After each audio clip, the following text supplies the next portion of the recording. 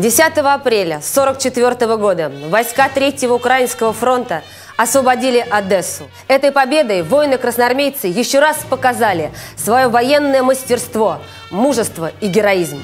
Противник находился на очень выгодных позициях, но советские войска прорвали оборону и нанесли сокрушительный удар. Всю ночь шли ожесточенные уличные бои. К утру советские войска полностью освободили город – Немцы и румыны хотели уничтожить город, но наши части наступали настолько быстро, что не дали врагу осуществить его намерение. Одесса жива, написал в своем репортаже военный корреспондент Василий Курбатов. До победы оставалось 394 дня.